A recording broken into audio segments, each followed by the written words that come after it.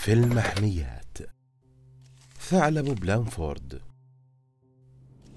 يقوم مركز الحفية لصون البيئة الجبلية بمدينة كلباء بالعديد من المهام الرامية للحفاظ على البيئة والتنوع الحيوي عبر تأهيل الحيوانات الأصيلة التي تنتمي إلى المنطقة الشرقية. ويوفر المركز بيئة مثالية وطبيعية للحيوانات التي يضمها. ويعد المركز أحد أهم المتنفسات الطبيعية للزوار والسياح. تقرب البيئة المحيطة بمناظره الطبيعية الزائر إلى الحياة البرية في الجبال وتلقي الضوء على المزيد من ثقافة المنطقة وإبداعاتها.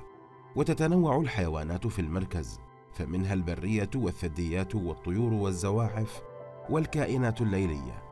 وفي داخله يعيش ثعلب بلانفورد الذي يتميز ببعض العادات الشبيهة بعادات الهرارة كتسلق الأشجار للهروب من أي خطر ويشابه في شكله بعض السنوريات الصغيرة ويشكل الإنسان خطرا أساسيا على حياة ثعلب بلانفورد الذي يعد من الحيوانات التي يسهل القبض عليها لأنها لا تظهر خوفا من الإنسان ويعيش هذا النوع من الثعالب في الجبال التي تعد البيئة الطبيعية له ويعد من الحيوانات الغامضة حيث لا يعرف إلا القليل حول بيئته الاجتماعية.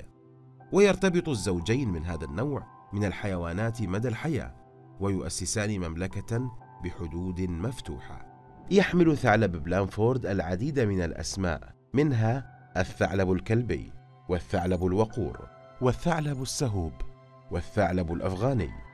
ويتواجد في دولة الإمارات العربية المتحدة وسلطنة عمان والمملكة العربية السعودية.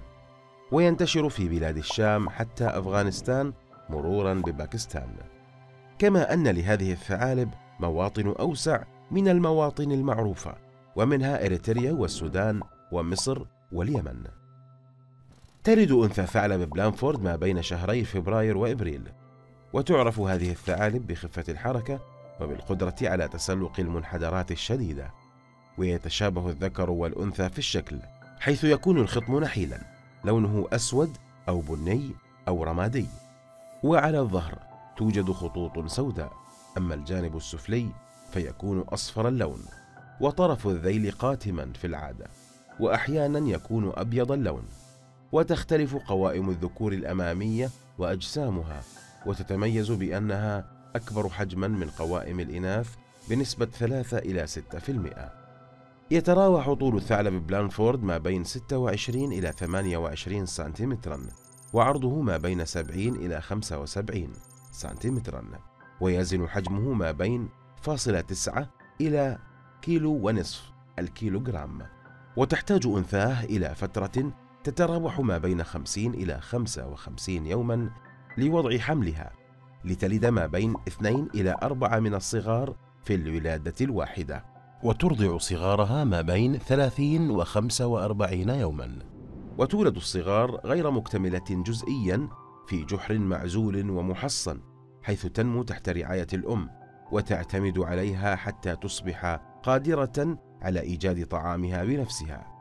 ويساعد الذكر أنثاه على تربية الصغار التي تعيش في الأحوال الطبيعية ما بين ثمانية إلى عشر سنوات. وفي الجبال يفضل هذا الثعلب البقاء حتى علو ألفي متر. لكن أهم المظاهر التي تتواجد في مسكنه هي ضفاف الجداول الجافة لما توفره أحجارها الكبيرة من جحور تؤمن تربية صغارها خلال موسم الولادة. يستطيع الثعلب بلانفورد الرشيق أن يقفز بشكل عمودي إلى ارتفاع ثلاثة أمتار ويجيد تسلق السطوح الجبلية الخشنة ويساعده ذيله الكثيف على التوازن. وتمكنه مخالبه الحادة والمقوسة وأسفل قدمه الخالي من الشعر على التشبث والثبات فوق السطوح الزلقة. وينشط في كل ساعات الليل. ويتغذى على الثدييات الصغيرة والطيور والحشرات والفاكهة مثل التمر وثمار السدر في موسمها. ويفضل الاصطياد بمفرده. وحتى الأزواج منه تميل على البحث كل منهما منفردا عن الطعام. ولا يحتاج إلى الشرب غالبا ويعتمد على العصارات التي يحصل عليها من طعامه.